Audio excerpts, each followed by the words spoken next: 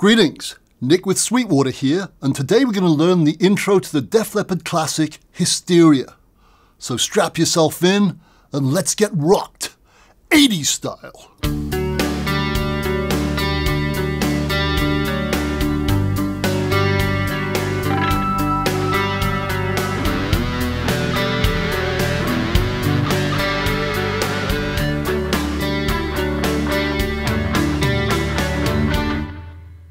Hysteria is just one of the many hits from Def Leppard's huge 1987 album of the same name. This bad boy here. And when I say huge, I'm talking huge in the very truest sense, to the tune of over 20 million sales worldwide thus far, with a staggering 12 million of those being in the USA alone.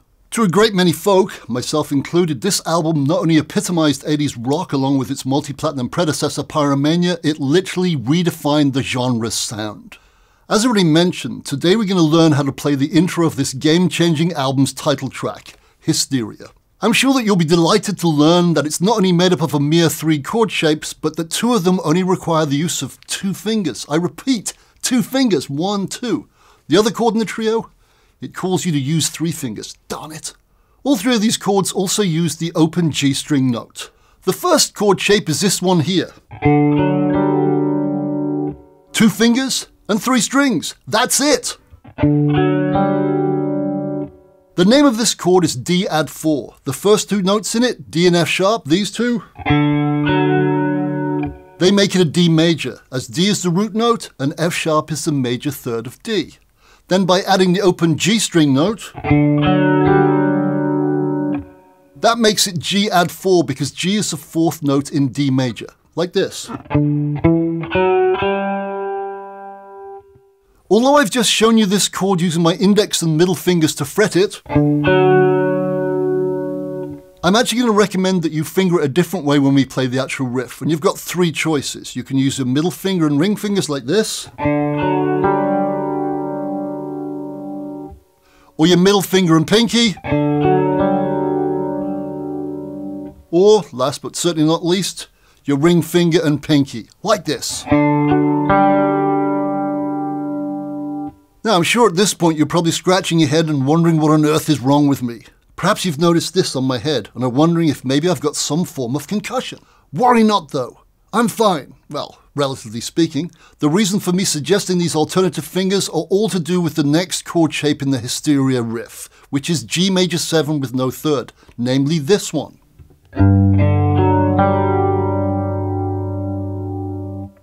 As you can see, it's the previous shape, this one, the D add 4, but with a G note at the third fret on the low E added as the new root note, namely this one here. So now we have this. So if I was to finger the D add 4 with my first and second fingers like this, that would make the change to the G really klutzy because I'd have to do a hand jump. no, I'm not going to do that. This way is much easier. Check it out. Way more efficient and way more logical. What a concept. So that's why I gave you three D-add 4 fingering options, as they all make the change to the G shape much easier. You can do this one, or this one, or this one.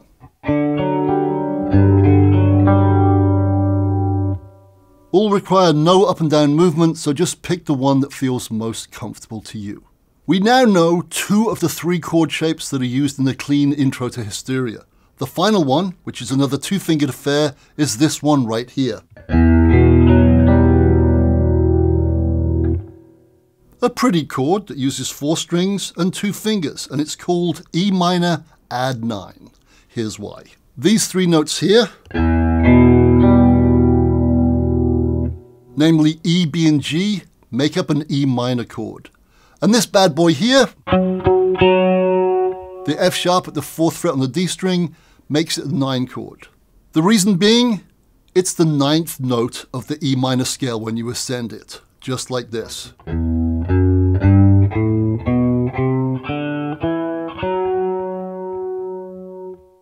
That was nine notes, right? That was number 9.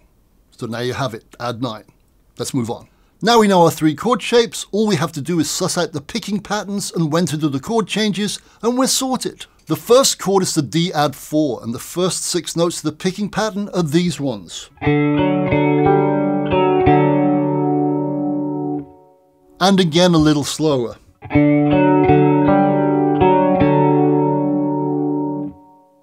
Let's break that down. All we do is hold the shape down and then pick the strings in the following order. A string, D string, A string, G string, D string, then A string again. Just like this.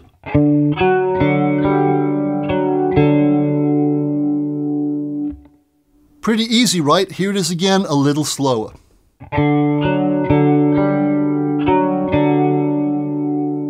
Like I said, A string, D string, A string, G string, D string, A string, in that exact order and in this timing.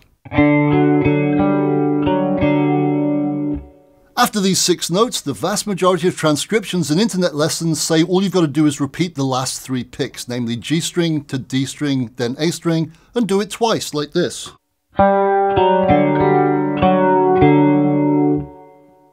So if you put that with what we've learned so far, you get this.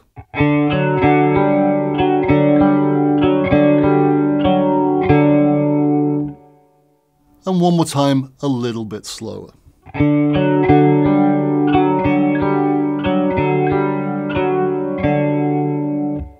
That sounds pretty good, doesn't it? Pretty much exactly like the album track. Now to make it sound even more on the money, you need to lightly palm mute the notes on the A and D strings, just like this.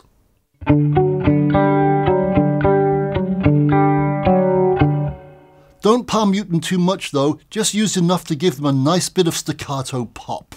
And also, do not mute the open G string. That sucker needs to be allowed to ring. To add further authenticity, Add some compression, subtle chorus, and some reverb to your sound too.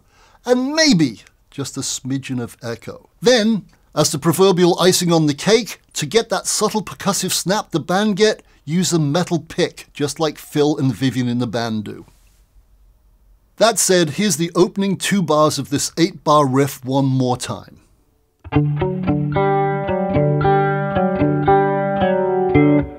Now you may have noticed that I said pretty much like the album when I talked about those last six notes, namely these ones. I say this because, to my ears, if you listen very, very carefully with headphones to the start of the Hysteria song, you'll actually hear three extra palm muted D notes on the A string.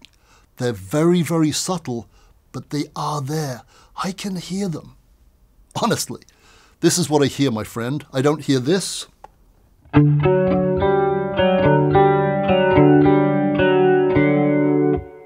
I actually hear this.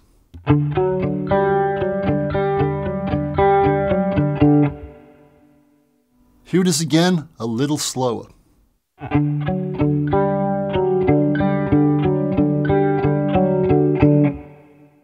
I said, it's a pretty darn subtle difference, but I can definitely hear it on headphones if I listen very carefully. And just so you know, it's the exact same riff, just with three extra D notes added in the second bar. It is, of course, very common knowledge that the band did a bunch of very clever guitar layering throughout this album, so maybe that's what I'm hearing a combination of various layers and subtle overdubs. Or perhaps this knock to my head did give me a little bit of a concussion after all. Or maybe it's simply just a good old case of overthinking induced OCD. Guilty. Having said all this, whatever. Either way sounds great to my ears, so go with the one you like. Now, even though I played it my way in the intro, to keep things nice and simple, I'm going to play the version everyone transcribes from here on in, namely this one.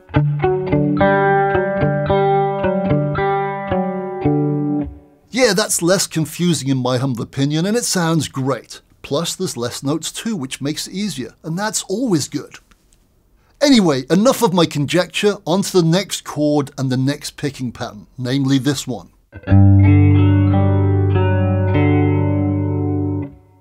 This chord shape is the G major 7 with no third. And as you've just heard, the picking pattern and also the timing of it is pretty darn simple, namely this.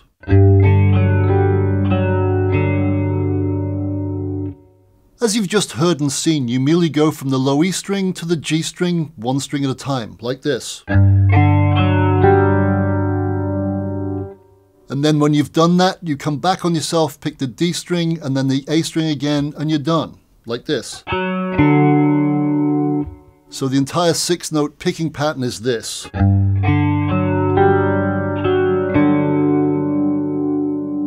And one more time a little slower.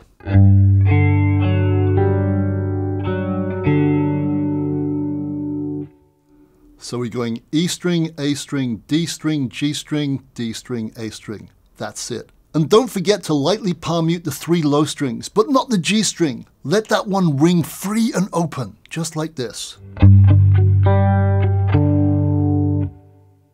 We do this twice before we move on to the next chord. So we do this.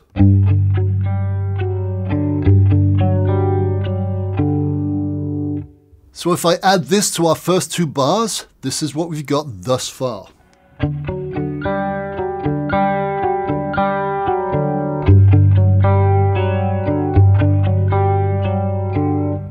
Next up is chord 3, our old friend the E minor add 9, namely this one. And guess what? It uses the exact same picking pattern we've just learned for the previous shape, but it only does it once, like this. And again, just a hair slower.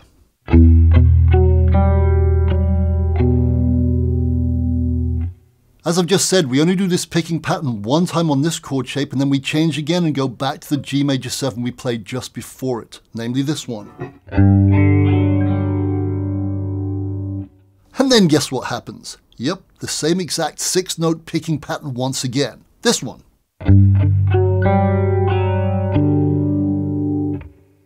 Nice, one more time.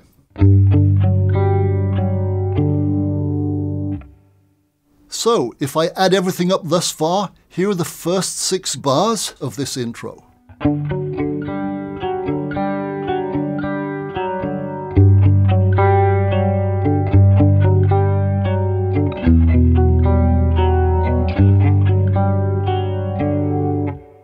And one more time, just a hair slower.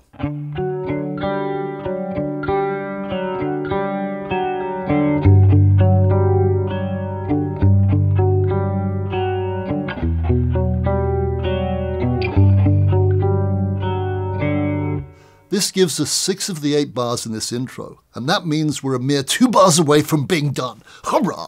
For these last two bars, we go back to our opening chord, our good pal, the D add 4, and then pretty much repeat the simple version of the start, namely this.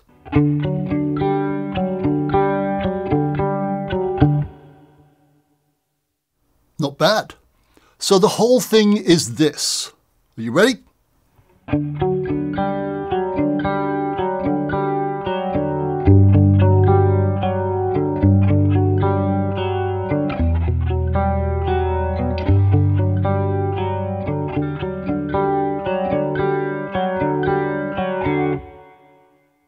A little sloppy, but you get the picture. That's the whole thing. And there you have it, my friend, the catchy, clean intro to the title track of one of the biggest selling rock albums of all time, Def Leppard's hit-filled classic, Hysteria. Before I sign off though, it would be extremely remiss of me not to quickly touch on the other guitar part I played during the intro. And by the way, this part is a compilation of a few cool overdub parts on the record itself, and I did this so you can play it on just one guitar. So here goes. This second guitar part doesn't come into play until the start of the fourth bar, and when that happens you do this. You hit the natural harmonics directly over the fifth fret on the G, B and high E strings and then add some subtle whammy bar vibrato, just like this. As you can hear, I'm using a pretty clean sound to do this. Now you get the harmonics by lightly resting the fleshy underside of one of your fretboard fingers on the top three strings directly over the fifth fret, namely this part of your finger here, or this part, the fleshy underside. Your touch must be light though, very light. You don't actually push the strings down to the fret, you just lightly rest on them. Very, very lightly. Having done that, you then pick those three strings, and then straight after you've hit them, you lift your finger off like this. And hey presto, there are the desired natural harmonics. Nice. Now, if you've never done this before, I highly recommend you master the technique at the 12th fret first, as the natural harmonics there are a little easier to get, like this.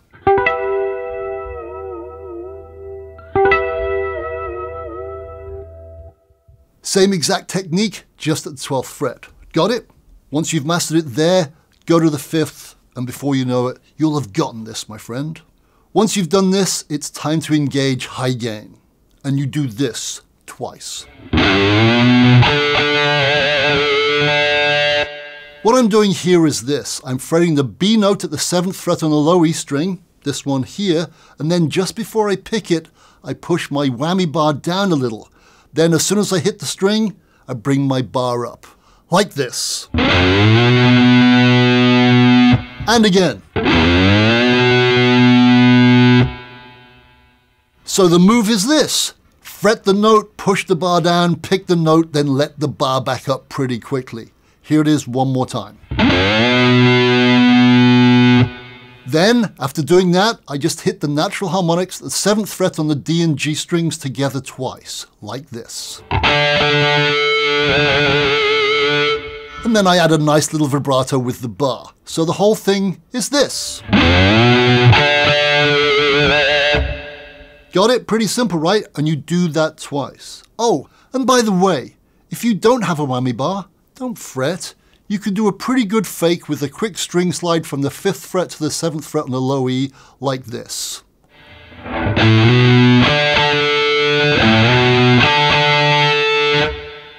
Granted, you can't add the vibrato afterwards, but it still sounds pretty good.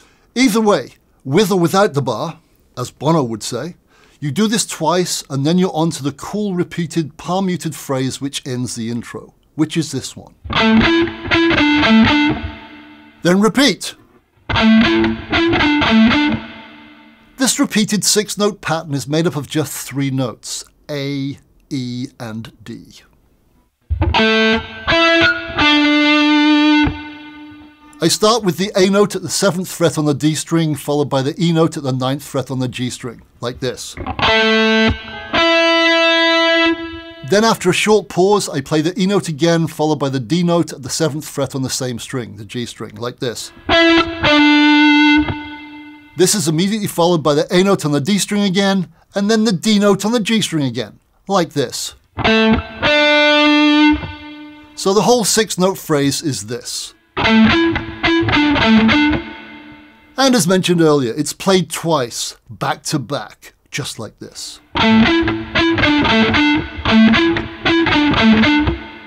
And by the way, don't forget to palm mute the suckers.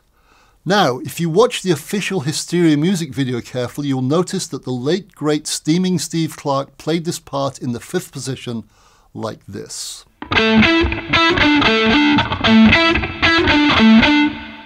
And if you watch the excellent Def Leppard Hysteria at the O2 DVD, you'll see that Phil plays this little motif here. So what we have there is the same six notes in the exact same order, just in different positions. And they're all good, so pick the one that feels best to you. Awful pun intended. Actually, when Phil plays it live, he does throw in an extra A note in between the two E notes. So instead of playing this, he plays this. So, it's now seven notes instead of six. All good. To be honest, I invariably tend to do the same thing if I'm not thinking. I guess it's just my 80s metal muscle memory kicking in, because after all, pedal point notes are good.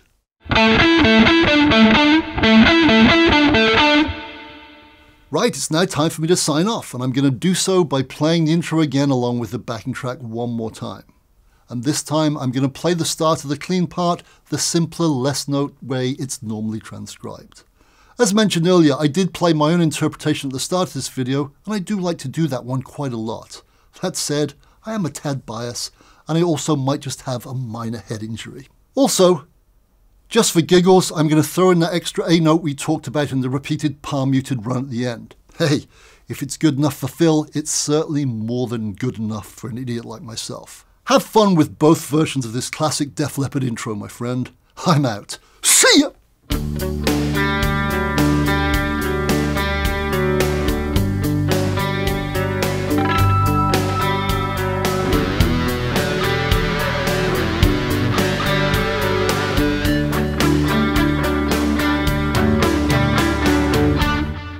Thank you very much indeed for watching Old Bean. Don't forget to like, comment and subscribe. Click here for more videos like this or start at sweetwater.com for all your music instrument and pro audio needs. Cheerio!